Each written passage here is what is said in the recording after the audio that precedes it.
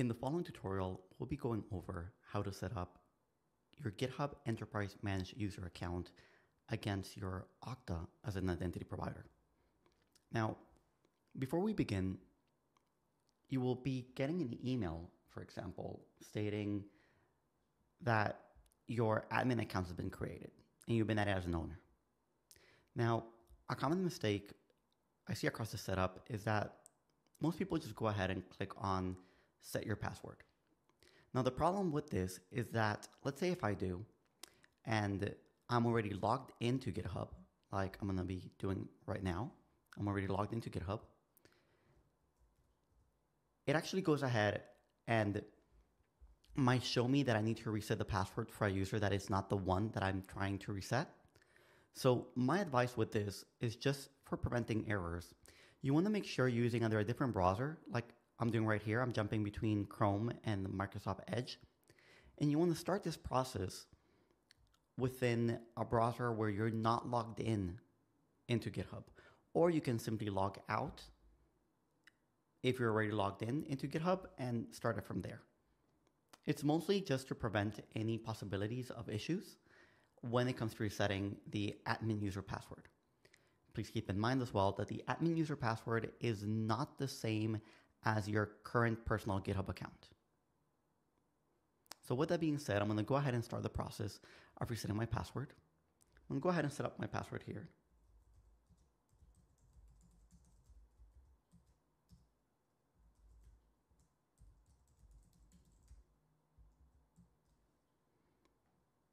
And once done, I'm going to click on set password. Now that I have set up my password, I'm going to go ahead and log in.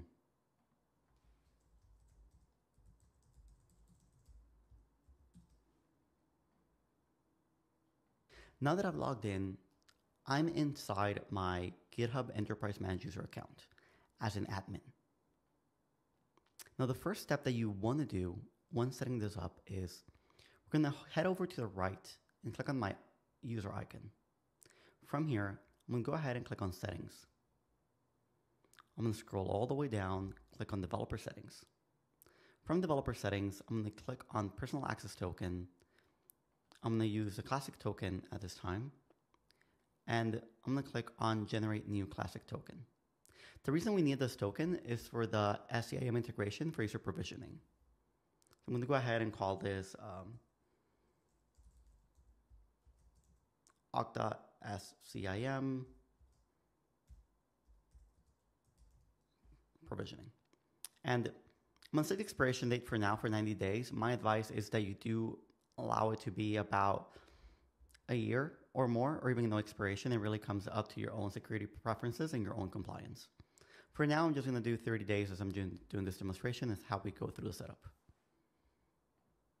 Then let's scroll all the way down. And we do want to grant our user access with full admin enterprise capabilities. So I'm going to select this and I'm going to generate that token. Now that that is done, what I'm going to do is I'm going to copy this token and I'm going to paste it in my Notepad or Visual Studio. It really comes up to what you want to do with it. I'm going to just go ahead and paste it here as I will be needing this later on.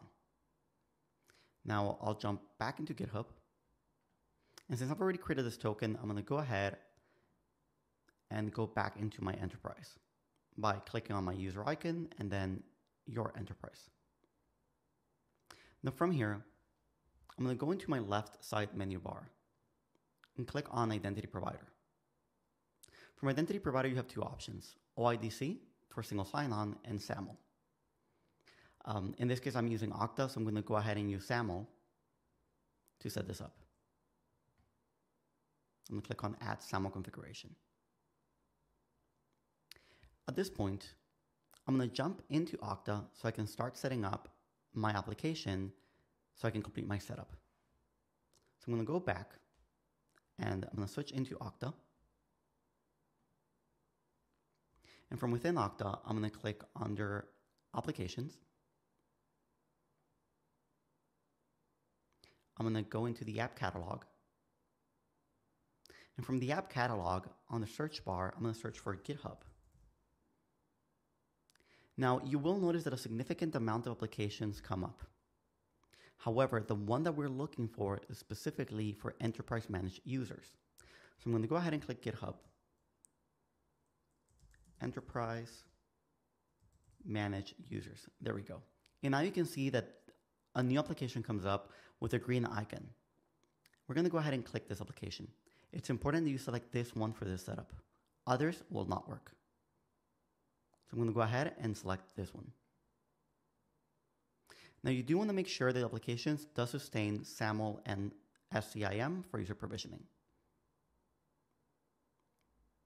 As well, it is highly important that your Okta tenant does sustain lifecycle management. If your Okta tenant does not have lifecycle management, this setup will not work. And you will need to reach out to your Okta support to see how you can enable lifecycle management. And with that being said, I'm going to click on Add Integration.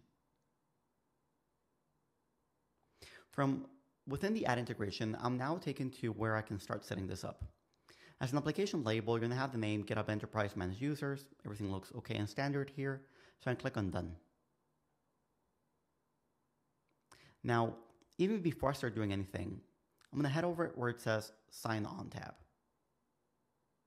From within the Sign On tab, to notice there's a couple of settings here. Now, what you want to do here is click on Edit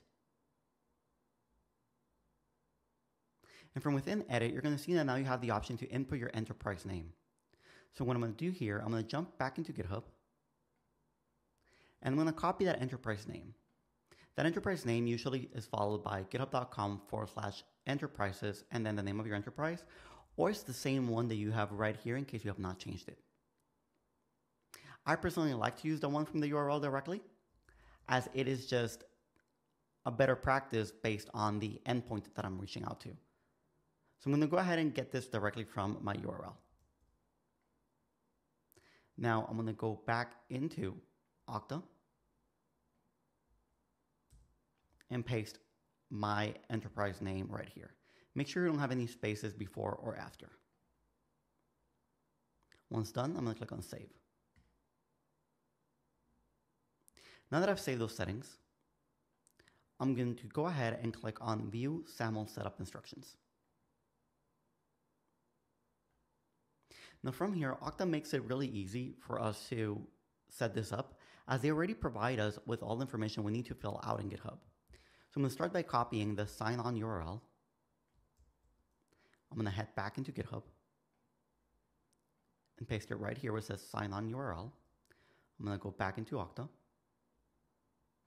going to copy the issuer, head back into GitHub, paste it under the issuer field. And finally, I'm going to go back into Okta, copy the public certificate,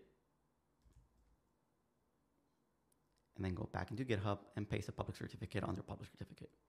As a good practice, I like to expand this a little bit just to make sure there's no additional spacing or anything that shouldn't be added. And now it's important you do not click on test SAML as this will not work right now.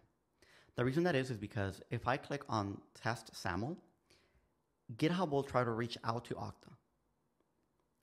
And when it reaches Okta based on this endpoint, the problem is that this application does not have any user assigned yet. So you might get a 403 unable to um, unauthorized, or you might get authentication failures. So now I'm gonna hit over the assignment tab, and from here, I'm gonna add my user. Click on assign, assign people. I'm gonna select my user and click save and go back. Now, once I do, this is pretty much just for me to add my user at this moment so that I'm able to overall just enable the endpoint. Now that I've done this part of the setup, I'm going to go ahead and enable SAML on GitHub. So I'm going to go back into GitHub and click on Test SAML Configuration. This will redirect me to Okta, where I'm going to go ahead and input my password.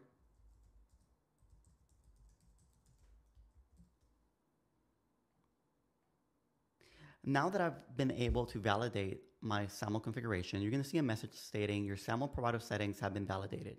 Remember, save your changes. Now that I've done this, I'm going to go ahead and click on Save SAML Settings. Immediately, GitHub provides me with single sign-on recovery codes. Now, these codes are important because the moment that I enable SAML, I will be needing to log in through SSO. However, if at any point in time I need to log in with my admin account, I will be able to do so using any of the following codes. It is a good practice that you download them and keep them on secure location, or you can copy them and still keep them on secure location. It's really up to you. The moment that I hit on any of these options, I am now able to enable SAML authentication. So I'm going to go ahead and click on Enable SAML authentication. And once done, SAML has been enabled. It's very important that you do not log, log out of this portal because we still need to set up SCIM for user provisioning. So we're going to leave this here for now, and I'm going to go back into Okta to complete my setup. Now within Okta, I'm going to go under provisioning so I can start setting up SCIM. Within provisioning, I'm going to click on Configure API Integration. I'm going to enable the API integration. And at this point, I'm being asked for that token that we created at the start of our setup. So I'm going to go into Visual Studio Code where I copied my token. I'm going to copy that, go back into Okta, and paste my token there. Now that the endpoint is live from a SAML perspective, when I test my API credentials, this should work. If you try to do this before enabling the SAML endpoint in GitHub, this will most probably fail. So it's important that we follow the steps as they're being provided. I'm going to go ahead now and click on Test API Credentials. And I can see that the GitHub Enterprise Managed Users was verified successfully, meaning that Okta is able to contact my endpoint using my token. So now I'm able to click on Save. Once saved, the UI will refresh. And at this point, I can click on Edit and enable the creation of users, update attributes, and deactivate users. All of this is part of SCIM. And finally, click on Save. Now, I do want you to notice that the three icons right here are now all green. At the beginning of our setup, they weren't. This pretty much means that there is the possibility of authentication, but now user provisioning and deprovisioning has been enabled.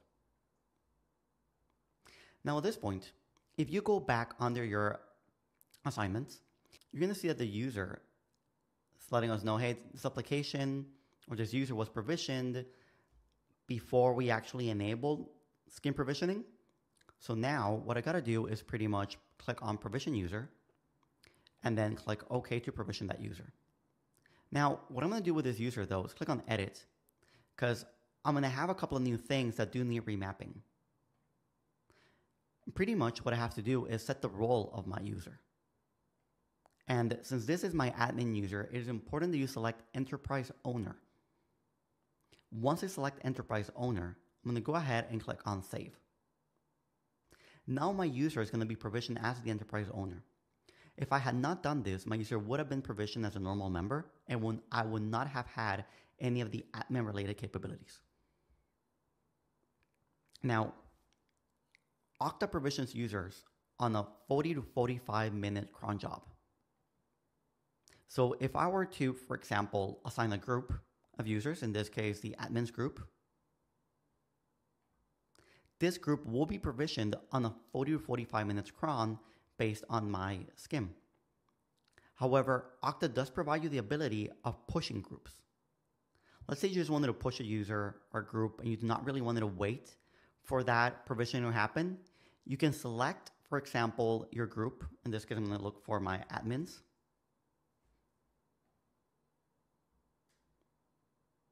And then I'm going to go ahead and save this. Now, this pretty much enables me to do the pushing of my groups for instant provisioning. And you can see the status pushing. Now, it is important to mention that while I am provisioning a group, you're unable to mass provision roles, meaning that the default role will always be members. let's say that if you wanted these users that are now being provisioned, for example, my user Mona Octocat is part of my admins. However, the way that this user was provisioned was as a normal member. So what I have to do now from here is change the role mapping to an enterprise owner, billing manager, user. It really comes down to what I wanted to do. In this case, I'm also going to be pushing this user as an enterprise owner. Unfortunately, there's really no way of pushing uh, an admin group, an admin group, and having all that group's roles be enterprise owners. You will have to do this user by user. The default, nevertheless, is user. But if you wanted to change those attributes, you're going to have to go into the user specifically and change the role. Once done, I'm going to go ahead and click on save. Now at this point, our EMU tenant has already been set up. So I can go ahead and leave Okta for now. I'm going to go back into GitHub. Now within GitHub, if you go under people, you're going to see that your users have already been provisioned. And you're going to see that your enterprise slug has already been added. In this case, it is using my username underscore enterprise slug, which is what you're seeing here, which is Jack G. Kafaty underscore SSO EMU or Mona Octocat underscore SSO EMU. And then, of course, we have my setup admin.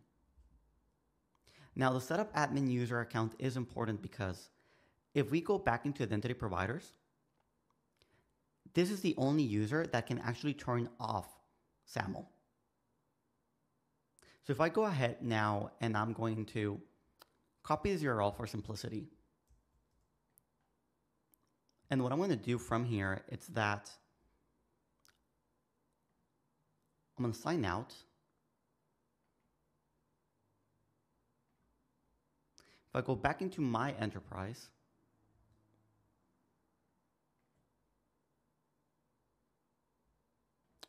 you can already see I've been logged in with my SSO EMU account provisioned by Okta. I'm going to do that again because I do want to show you how would this work if let's say you're not pasting the URL like I did. I'm going to log out, go back into GitHub, click on sign on, and then I'm going to do input my username.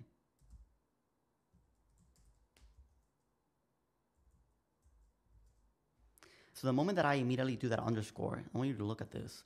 You see how right now it just says sign in? But the moment I input that underscore, it immediately identifies that this is an EMU account. And it says sign in with your identity provider.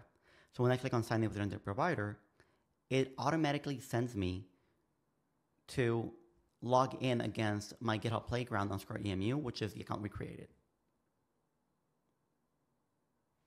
Now that I've authenticated against it, if I go under enterprises and I go into identity provider, since I'm not using my admin account as the setup admin that we provided for the initial setup, you will see this option is grayed out.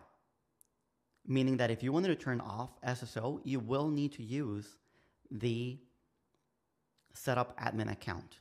This is done for security reasons. If I click on edit SAML configuration, I'm not able to change the sign-on URL or the issuer, but I can update the public certificate in case at any point in time this expires. Now, since you're using Okta, it's pretty beneficial that once you assign your users to an application like I've done here, if you go into the users and user dashboard, when they log in, they will be able to see that application. And when they click on it, they will be redirected to log in against um, your GitHub Enterprise Cloud account. Now, with that being said, these are the steps to set up GitHub Enterprise Managed Users using Okta.